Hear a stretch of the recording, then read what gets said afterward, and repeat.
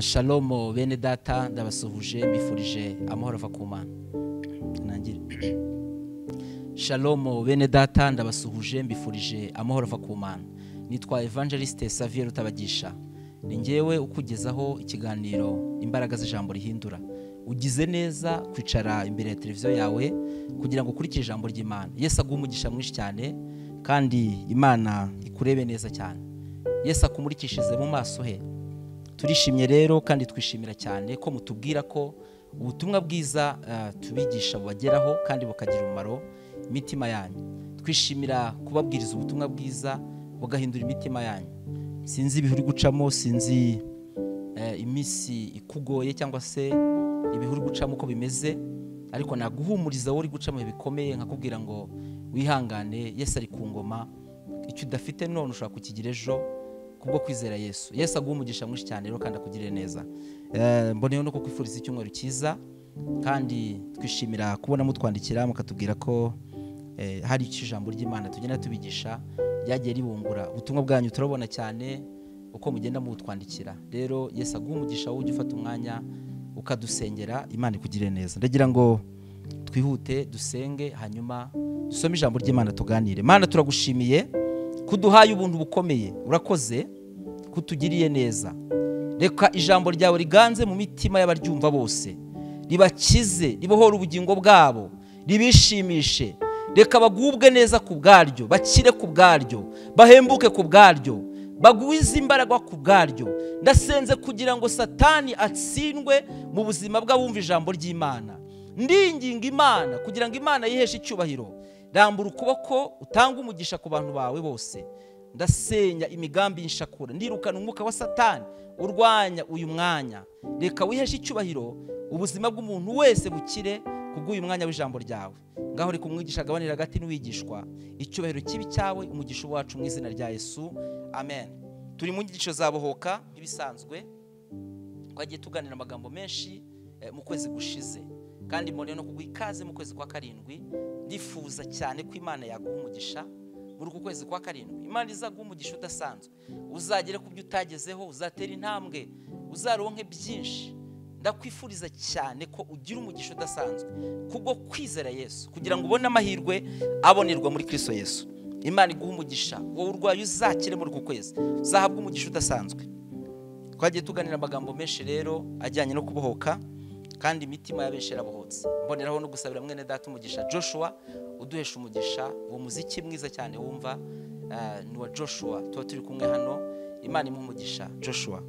Hanyuma tujye kuganira amagambo imana yampaye ndi gusenga mbaza imana icyo nzakuganiriza. Ni amagambo afite teme ivuga ngo inyungu zizanwa no kwizera yesu.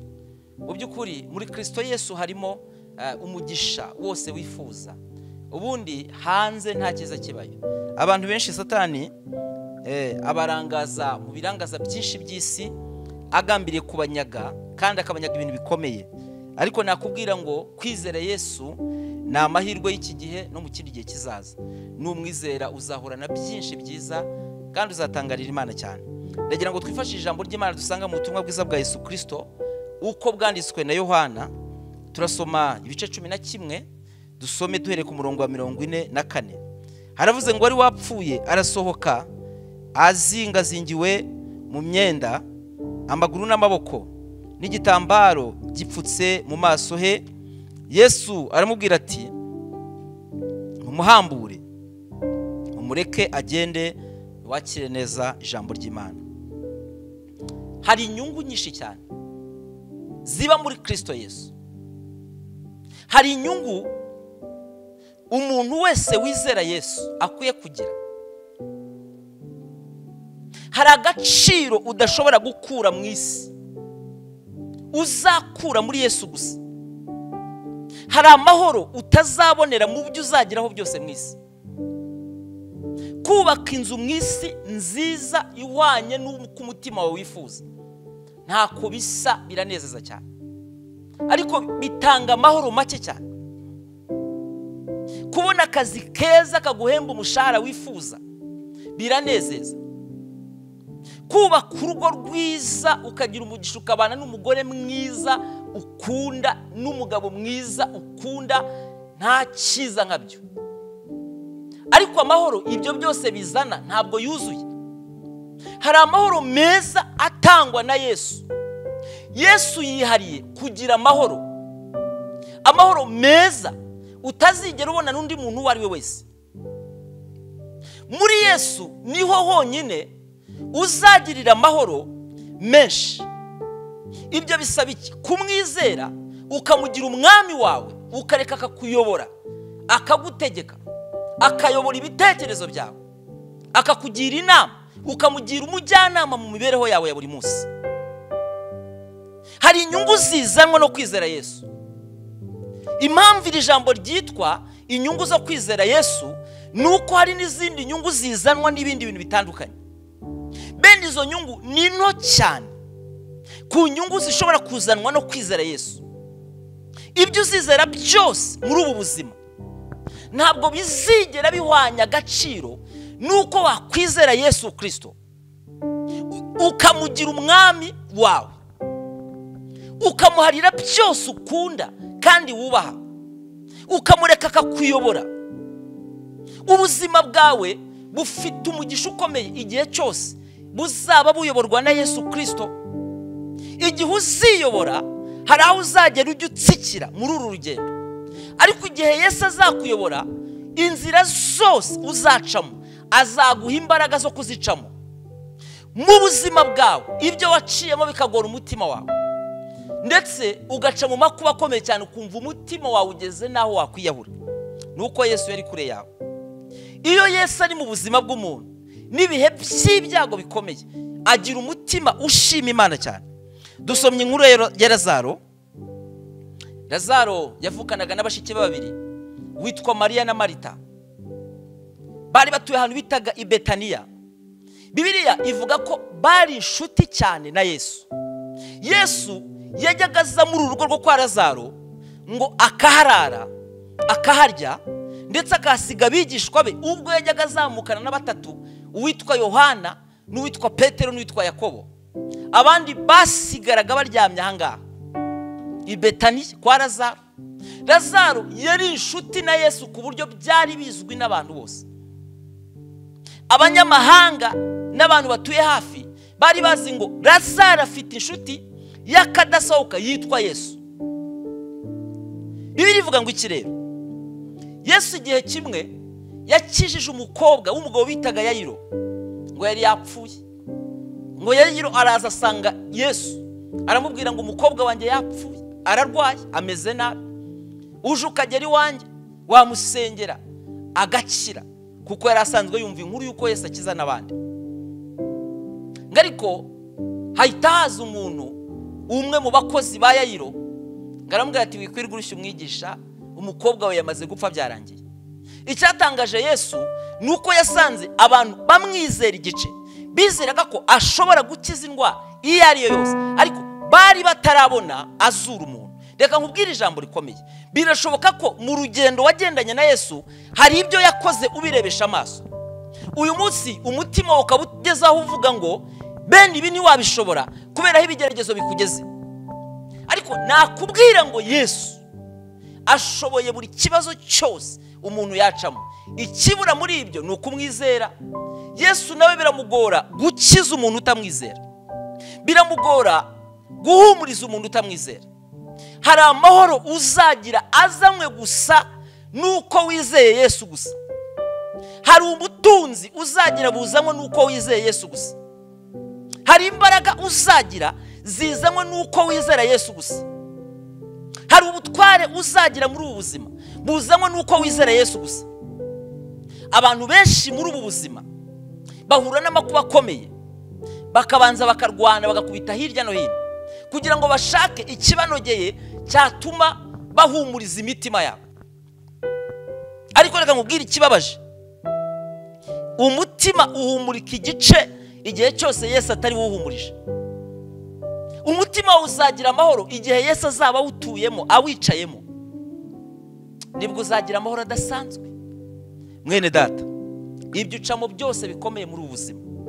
Emerera yesu ayobora umutima wawe ayobora ubwenge bwawe ayobora imibereho yawe. Mwemerere agendane nawe ku manywa na nijoro. Agukoreshe iby'ubutwari. Akuyobore mu nzira zose ucamo. Uzahura n'umugisha udasanzwe nawe ubwawe uzatangara. Uzagera ku rwego wibaza ngo bishoboka bite ko nagera mu bihe nk'ibi ngibi byiza by'umugisha? Ariko ibyo byose uzamenye ko bizanywe na yesu.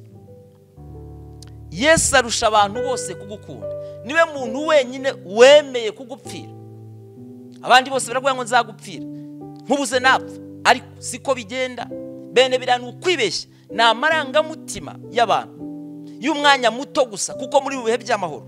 Ariko ugeze mu bikomeye ni bwo ubona ko abantu bose bagusezeranyije kugumana nawe batari kumwe nawe. Uzi inkuru nziza? Ni uko Yesu abana nawe ahantu hose mukabana no mu rupfu. Ibi mvuga umuntu wese wasogongeye arabizi hari amahoro nagize maze kwakira Yesu kirisito ntigeze nkura ahandi hantu aho ari hose. Nawe niba warizeye kirisito urabizi. Hari abantu binjira agakizwa agahita yumva bihagije. Niyongeremo kwizera yesu. Imana iguha imbaraga kugira ngo urusheho kwizera yesu. Kumwizera kandi ni byiza. Yesu ngo ababazwa nuko bamubwiye ati yapfuye wigurushya umwigisha. Bumvaga ngo yesu atashobora kuzura. Ariko ngo biramubabaza aravuga ati tujyane. Ngo agezeyo azuye uyu mwana ngo abantu baravuga ati ntabwo yazura umuntu yari agishyushye. Imyizerere yacu rimwe na rimwe. Niyo iduheza mu bigeragezo. Bukeye yesu ngo arongera azura wa mukobwa wa mwana w'umusore kari akana gato k'agahungu ngo nyina yari umupfakazi. Iyi nkuru urayisanga muri ruka karindwi cumi na rimwe.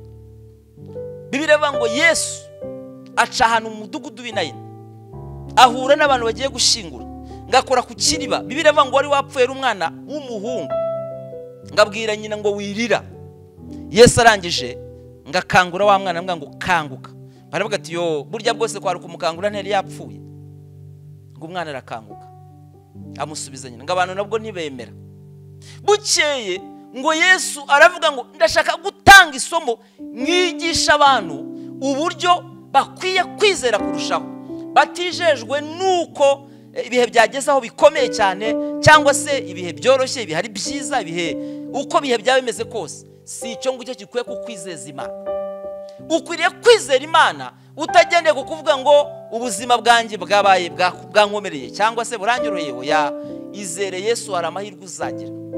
Nk'ubu ugakora ikintu cyiza ugafata yesu ukamushyira mu buzima bwawe uyu munsi. Hari ibintu byinshi cyane byahinduka. Uzabwirwa n'iki kutizera yesu? Igihe uzaba ugeze mu bigeragezo bikomeye. Igihe abantu benshi bagamburura ariko umuntu wizeye kirisito ukavuga ngo narakwizeye noneho ngeze aho ushaka kunyereka. Yesu azakwiyereka uzatungurwa cyane. Uri mu kibazo gikomeye uyu munsi.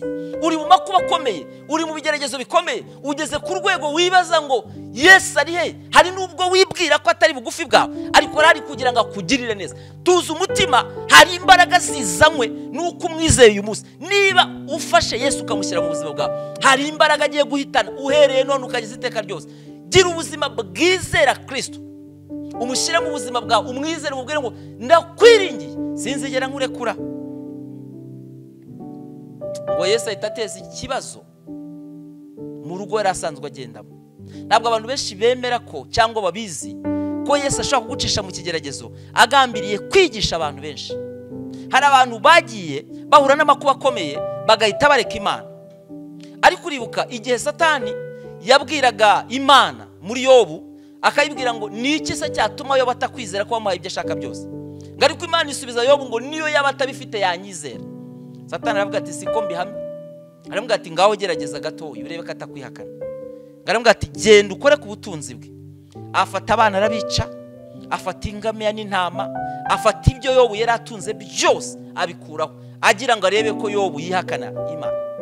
Ariko siko byagenze? Ngo yobu aravuga ngo navuye mu nda ya mama ntacyo mfite. Zasubira mu nda y'isi ntacyo mfite. Ngo satani aravuga ati noneho nyemerera ngende nkore ku mubiri ngawukoraho. Yobu ngo akajya yishimisha urusyo yobu ngo agashyira ivu mu bisebe hanyuma ngo ariko yobu nakunze ijambo yobu yavuze mu bice mirongo ine na bibiri kabiri. Yaravuze ngo nzi yuko ushobora byose kandi nta kibasha kurogoya imigambi yawe. Kandi ibi byagize inyungu nyinshi cyane. Uzasome hasi kuri cumi na kabiri. Haravuga ngo uwiteka ahira yobu bwa nyuma kuruta ubwa mbere. Amuha abakobwa n'abahungu. Ngo kandi muri isiraheli nta bagore beza barimo ngo barutaga abakobwa ba yobu. Biturutse ku ki yarihanganye uwihangana akageza imperuka. Azahura n'umugisha ukomeye. Abandi bantu batagira muri ubu buzima. Abantu bizera yesu ni abanyamahirwe bakomeye. Usibye no kubaho mu isi neza. Hari igihe kizagera bimane nawe ingoma itazashira. Ushaka kuzaba hirya y'ubuzima izere yesu. Ndumva umutima wanjye wishimiye ko namenye yesu. Nkamushyira mu buzima bwanjye. Narangiza nkamukorera nkamukurikira nagize amahoro ndabyibuka nkizwa nari umwana muto ariko ufite umutima urushye ku bw'amakuba n'ibigeragezo naciyemo. Ariko yesu amaze kugera mu buzima bwanjye yaranduhura. Yambwiye ijambo rimwe arambwira ngo nguhaye umunezero. Ngo uzajya ubaho useka ngo uzajya useka n'ibintu bidasekeje. Ndavuga ni yesu ushobora guseka. Ariko rero umunsi nagize umunezero mwinshi mu mutima wanjye kubwo kuronka yesu kirisito nta byishimo wagize kubwo kuronka kirisito nta munezero wagize kubwo kuronka kirisito mwene data hari umugisha utazakura ahandi hantu aho ariho hose. Usibye kuwukura muri kirisito yesu. Imana ikugire neza. Yesu arareka razaro ararwara. Razaro ngo ararwara agera kure. Uhereye umunsi razaro yarwariyeho. Yesu ntiyongeye kugaruka muri urwo rugo. Abantu baratangara cyane. Baravuga ati yesu yaba yaramenye ko razaro yarwaye. Hari amakuru urimo uyu munsi uribaza ngo yesu yamenye ko ndi muri ibi bigeragezo? Arabizi. Ariko ibyo bigeragezo urimo si ibyo kukwica. Ni ibyo kugira ngo imana ihabwe icyubahiro. Ni ibyo kugira ngo imana yiheshe icyubahiro. Ni ibyo kugira ngo imana yongere ishyirwe hejuru. Kandi nyuma y'ibyo hazaba umunezero. Burya makuba mwene data aza ahetse ibigeragezo. Biza bihetse ibisubizo.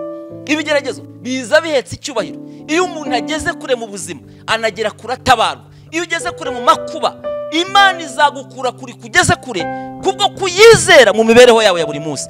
Tumbira yesu wenyine. Niwe banza ryo kwizera. Ni nawe gusohoza kose. Mu bugingo bwawe buzima bwose uzaba mu isi. Shyira yesu imbere. Vana ibintu byose washyize imbere y'ubuzima bwawe. Wibwira ko bizakurokora. Hari ubwo uzagera mu bihe bikomeye usanga nta kintu bizakumarira. Kubwira ijambo riteye ubwoba. Ntacyo ubutunzi bumara ku munsi burakari turabwifuza buradufasha. No mu ivugabutumwa dukora. Buradufasha. Ariko reka nkubwire ikintu gikomeye. Hari aho bugera bukaba budafite ubushobozi bwo kudufasha. Hari umuririmbyi waririmbye arabanga umunsi napfuye ngo mwese muzaza kunshyingura ngo ariko muzasiga njyenyine ngo ariko yesu tuzagumana. Yesu ntazakureka no mu rupfu muzagumana. Azagumana nawe agambiriye kuguhumuriza kugira ngo aguhe amahoro udashobora gukura ahandi hantu. Hari ibintu imana izagukorera uzasubiza amaso inyuma ngo imana ni ubudasa mu buzima bwawe. Icyamukizera imana gusa. Kandi ukabikorana umwete. Ubikunze ubishyizeho umutima byagufasha mu buzima bwawe. Razaro arapfa. Razaro yakundaga yesu. Ariko atarapfa ngo bakore inama baravuga ati ariko mubanze mumenyeshe yesu ko arwaye. Ngo batume umuntu w'umuhanga uzi kuvuga cyane. Ngo ageze aho yesu yari ku musozi ngaramubwira ngo mwigishe ukunda ararwaye mbega ijambo ryiza. Ariko hari igihe uvuga amagambo meza uri mu makuba. Amagambo uvuze ntagire icyo akora kuri yesu. Akamera nk'utayumvise ariko nubwo aceceka si uko atumvishe ahubwo nta kintu na kimwe atareba. Mu byo ucamo bigoye. Byose arabizi ihanganira igicuku utegereze igitondo. Inkoko yabika itabika amaherezo buzaca. Kandi Yesu azakugirira neza. Uzabona umunezero. Uzanwa no kwizera imana gusa. Gira umutima weguriye yesu. Umugendere. Umwemere akuyobore kandi umuhe ubuzima bwawe. Azakora ibidasanzwe mu mibereho yawe buri munsi. Imana igutabare kandi ikugirire neza. Mwene data aho ntugeze mu bihe bikomeye biruhije umutima wawe. Ukaba ugeze ku rwego uvuga ati noneho ndabona bigoye. Yesu atansanga muri iki kibazo. Ariko ndaguhumuriza nkubwira ngo yesu ashoboye byose. Imana ishimwe. Ngo yesu arategereza. Ngo wa muntu agarutse aravuga ati oke yesu yavuze ngo iyo ndwara arwaye ntabwo ari iyo kumwica. Yo kugira ngo imana ihabwe icyubahiro gusa. Bageze ati nagezeyo? Ahwi razara aravuga ati buriya ndaza gukira. Ariko bukeye razara arapfa. Baramubaza ati wageze ati nagezeyo? None ni iki cyatumye ataza? Kugira ngo akize inshuti ye. Hari ubwo ugera mu makuba ukagira ngo yesu ntakureba. Hari igihe ugera mu bigeragezo bikomeye ukajya wibaza atari ko yesu aranzi ese azi amakuba ndi gucamo byaba azi ibigeragezo bidasanzwe ndi gucamo ukabyibazaho cyane. Ariko nta na kimwe atazi mu mibereho yawe buri munsi. Nkubwire ijambo ryiza. Yesu arakuzi kandi agambiriye kukugirira neza.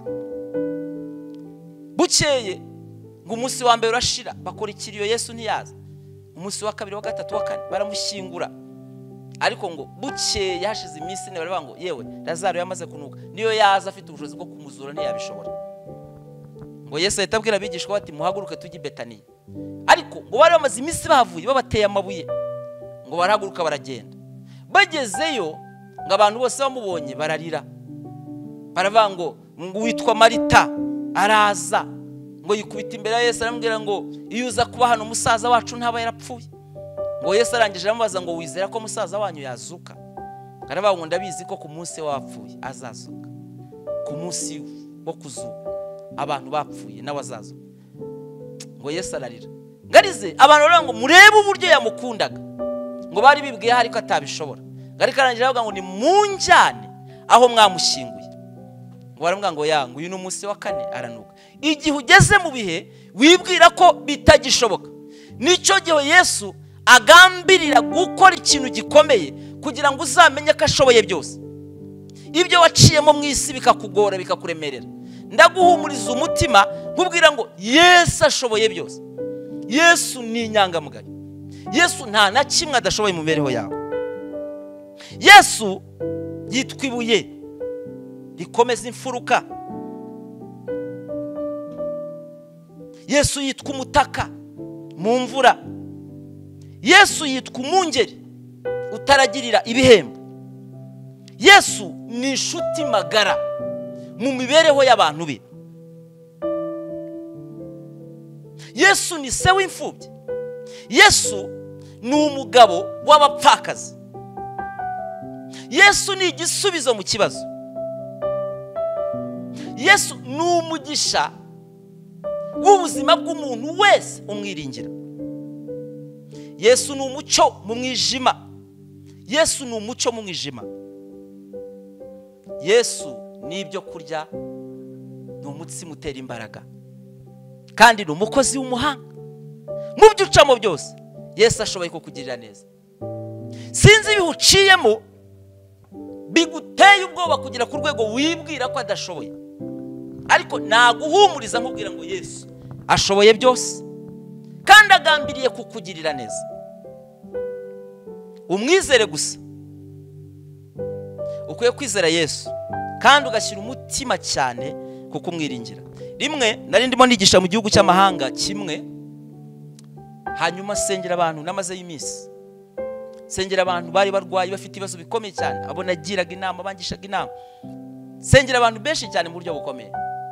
Hanyuma umunsi nari gutahaho ndabyibuka byari kuwa kabiri. Byari mu masaha ya nyuma ya saa sita gatoya byari nko mu saba. Hanyuma haza umwana w'umukobwa nari namaze kwakira abantu numva naniwe ndushye cyane. Arangije arambwira ngo ndashaka kukubaza ibibazo. Harangiza nkagusaba uburenganzira bw'ikintu kimwe. Ndamubwira nti simbyumva neza. Yari umukobwa mwiza cyane muto ugeze nk'igihe cyo gushyingirwa. Aranganiriza. Arambwira ngo ndashaka kugira ngo umbarize yesu. Icyo napfuye nawe. N'icyo anyangira. Ndamubaza akwanga gute? N'iki cyakubayeho? Arambwira ngo naravutse nkuze nsanga navukanye ubwandu.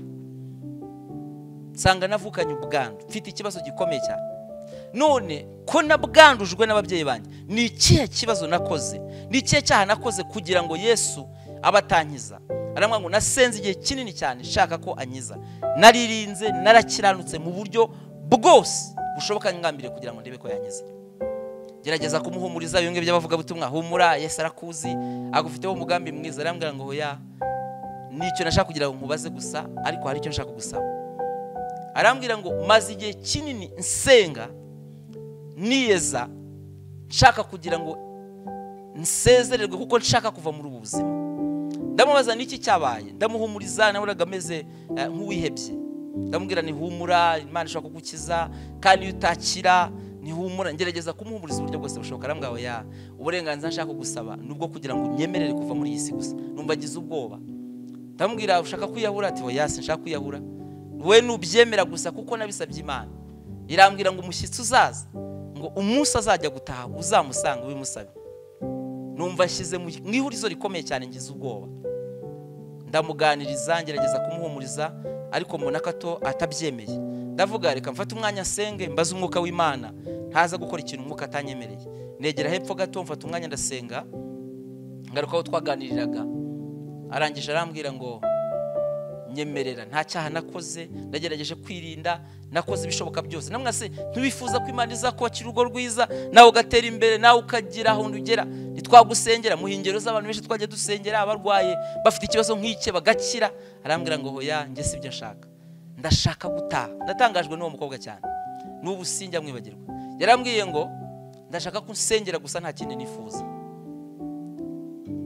Ndamusengera maze kumusengera ndamwana ndakwemereye. Kuko numvaga umwuka ambwiye ngo mwemerera ndamwemerera. Arambwira ngo ndatashye.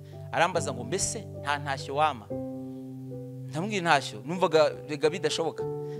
Ariko ndamubwira nti ntacyo uzansuhuriza abo mu ijoro numvaga ariko ari nk'imikino ari ibintu bisanzwe.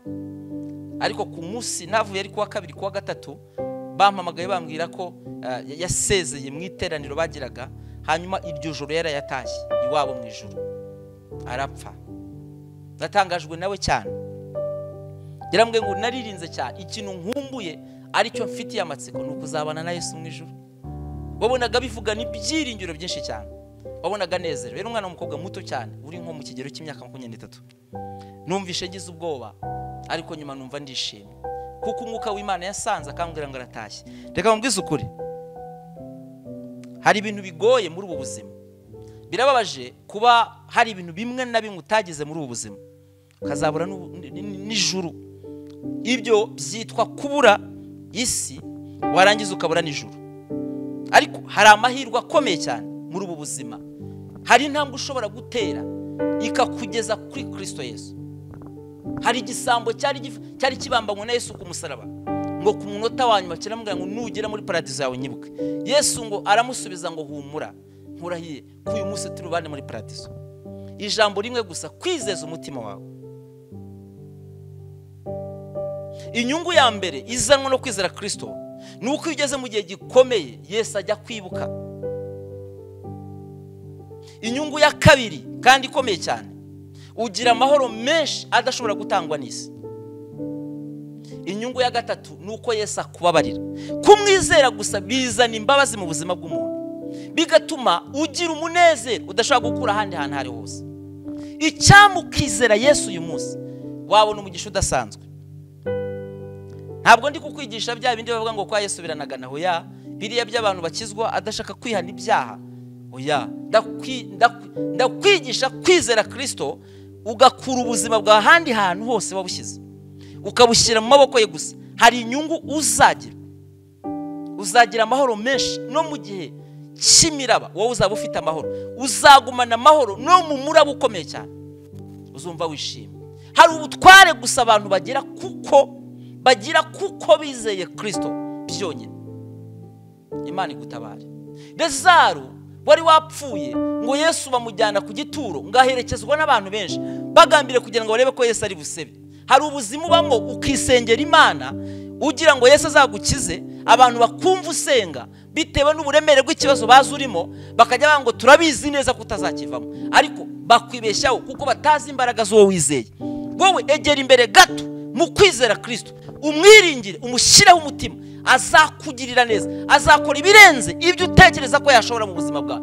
Afite imbaraga. Hari imbaraga yesu yakoresheje mu buzima bwawe. Ariko hari n'izindi mbaraga atarakoresha. Bene izo yasigaje nizo zigiye gukuraho ikibazo. Uhagazemo uyu munsi. Uwiteka agambiriye kugira ngo akuzamure.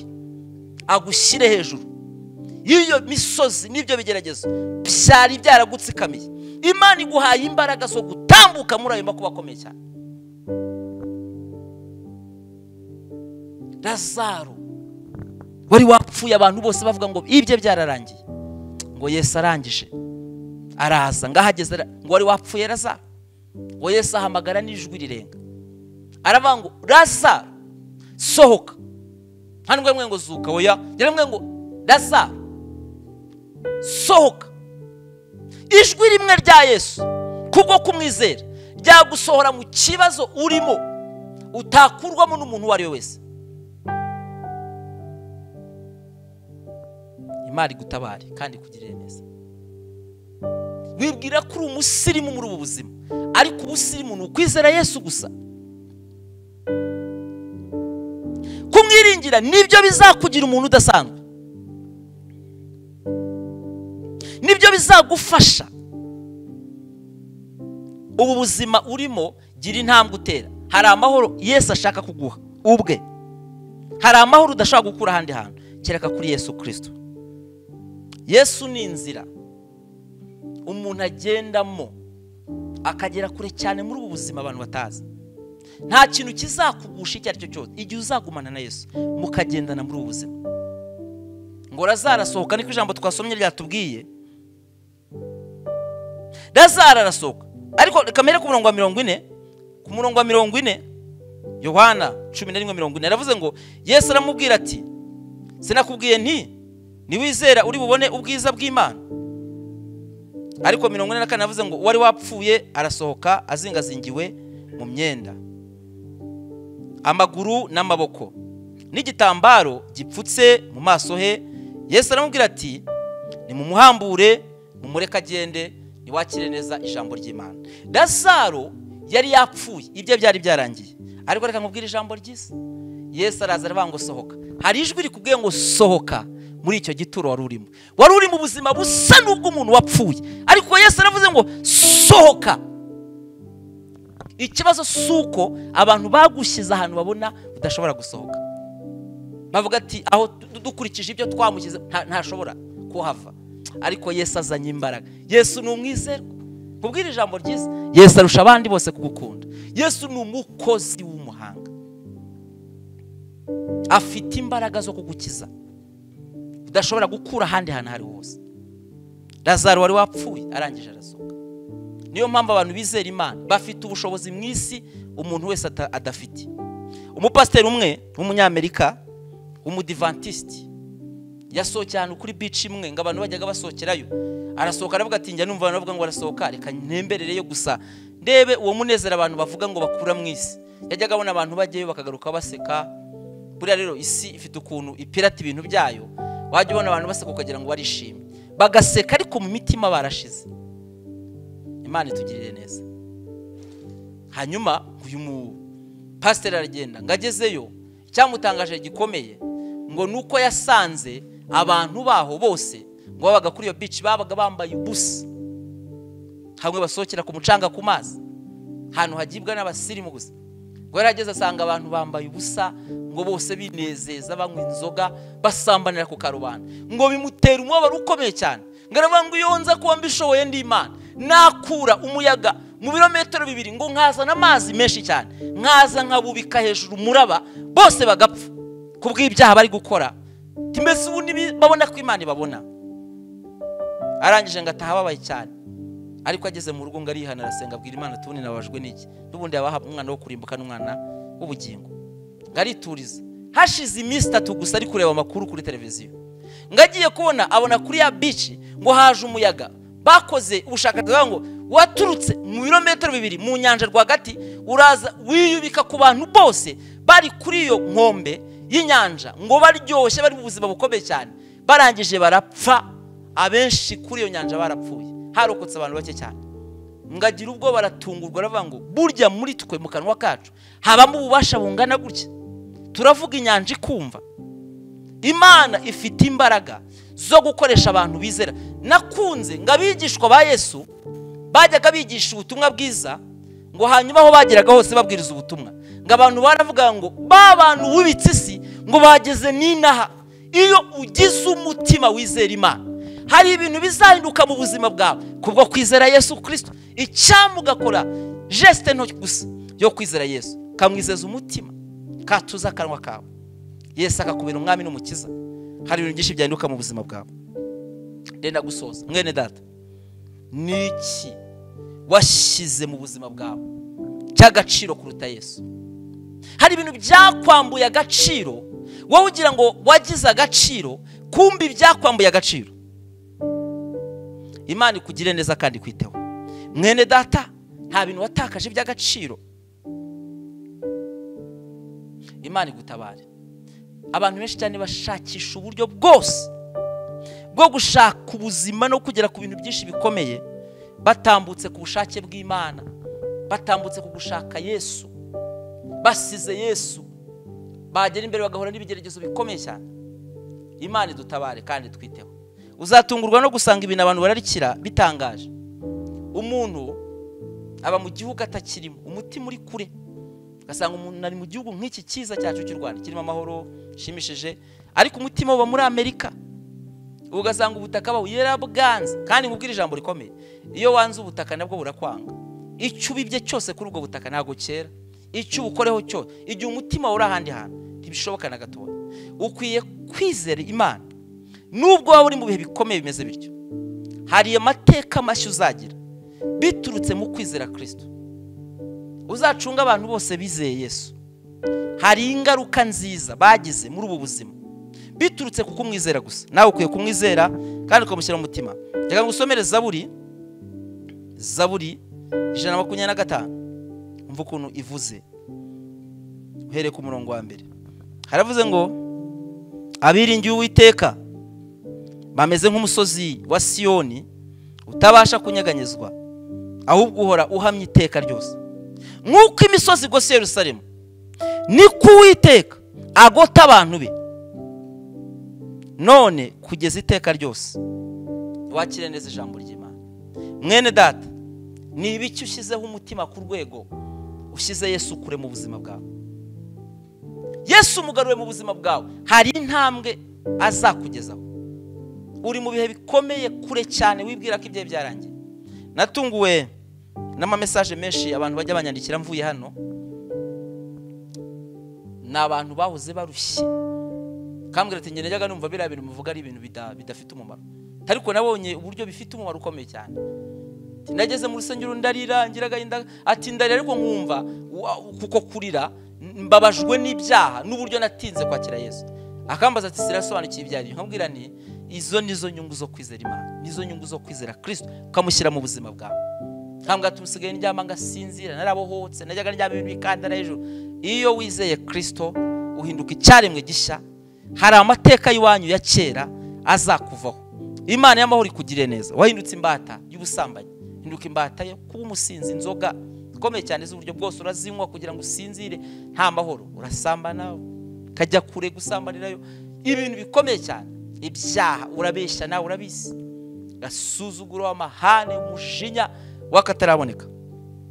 Imana igutabare kandi ikugire neza. Ndagira ngo ngufashe gusenga. Mwene data ndashaka kukubaza ikibazo. Wakiriye ese umwami n'umukiza wawe. Ese wamuhaye ubuzima bwawe kugira ngo abutegeke? Imana ikugire neza. Iyo wizeye kirisito hari amateka mashya uzagira muri ubu buzima.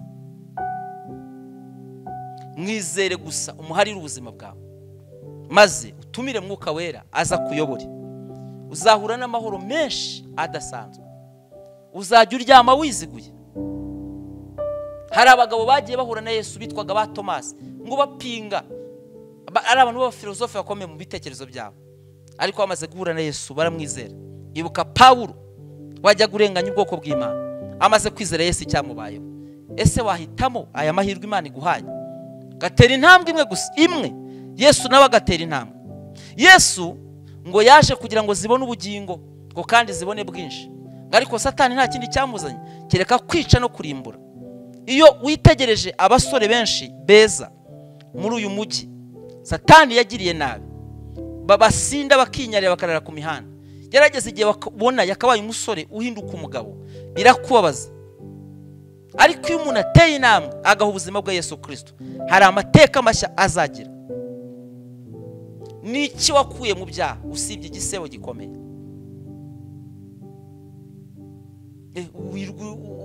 Uhagaritswe umutima umwana uhiye umutima wawe waratwawe cyane kubera ibyaha. Fata ubusore bwawe ubushyire muri kirisito ni cyo kintu cyonyine utazigera wicuza muri ubu buzima. Fata umutima wawe Yesu awuyobore ni cyo kintu utazigera wicuza muri ubu buzima. Nabonye abantu bashakana n'abagore bakunze cyane cyangwa abagabo bakunze cyane. Igihe kimwe bakabyicuza bakareba ngo nicujije icyatumye ngo ushaka nabonye abantu bakora utuzi twiza. Nabonye abantu bajya kure mu bihugu byiza cyane. Gatura mu mujyi akunze. Mu bukire ukomeye cyane. Ariko igihe kikagera akaba ngo ndicujije. Kubera ko ari kure cyane. Yesu akugira neza reka dusenge. Wowe wasubiye inyuma sura amagambo mvuga ngo umwami yesu nteye intambwe ndahindukiye. Nk'imbaraga zo kureka icyaha n'igisa na cyo kura izina ryanjye mu gitabo cyo kurimbuka. Ryandike mu gitabo cy'ubugingo. Amen. Ndagira ngo ngusengere wowe ufite icyifuzo icyo ari cyo cyose pfukama n'icyifuzo cyawe. Wowe urwaye ifata aho urwaye. Nawe ufite icyifuzo cy'uburyo ubwo ari bwo bwose. Pfukame ngusengere kandi wizere yesu uyu munsi hari umutwaro agiye kugutura.